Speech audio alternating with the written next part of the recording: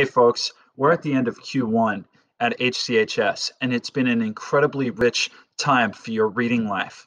Not only have you had access to an amazing collection of books through the HCHS Books website and also the Learning Ally app, but you've also been given a significant amount of class time to complete independent reading.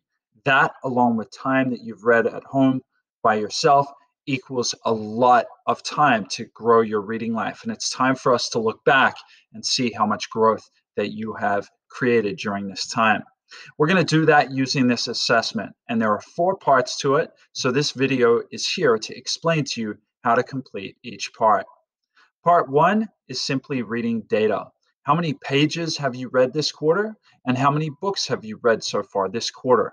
Looking back at your reading log in your reader's notebook, and any reflections that you may have completed and submitted, you should be able to guesstimate approximately how many pages that you have read and how many books that you've read.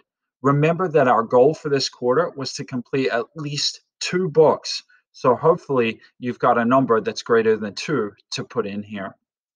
When you get to part two, you're going to be asked to put those books in order from most to least difficult, with one being the most difficult and five being the least difficult. Why did you put your books in that order? You're going to have to think about that and write your response of at least 50 words explaining how you decided to organize your books from most to least difficult. That's part one and part two of this assignment, and they're the most straightforward parts. Part three, you've had the opportunity to watch a variety of book talks this quarter. We've actually watched, I believe, seven or eight at this point in time. And each one was less than five minutes and just gave you a snapshot into what the book was about, what the author was about, and about the style of the book. You're going to be recording your own book talk in a Flipgrid.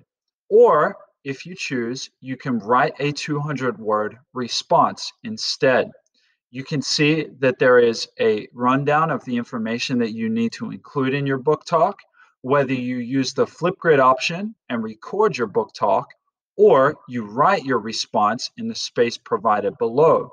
Each one of those should reference all of these different parts of a strong book talk. So that way you can make sure that your book talk gets maximum points. The final piece of your assessment is part four, the reader response. You've been posed a question Does choosing your own books matter? In most literature classes, students are assigned specific books to read, and the whole class studies the same text.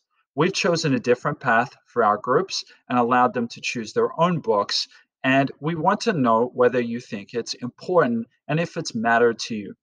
Your job is to use at least two examples from your own reading experience as evidence and take a side and argue whether it was a good idea for you to be able to choose your own books or whether you think uh, you should have just had a book selected for you. Remember, good arguments present both sides and consider the opposing argument as well as your own. So consider the value of us reading a whole novel together versus what we experienced this quarter, which was individual text uh, excerpts and then, of course, your own novels that you read. All four of these parts need to be completed by the end of the week. You will have the entire class period today to work on this. And then, if any additional time is needed, then you can work on it on Thursday. This is an important part of your overall grade this quarter. And remember, independent reading is the most heavily weighted section of the grade book. So it is a critical assessment. Make sure you do your best work, and I look forward to hearing your reflections about your reading life.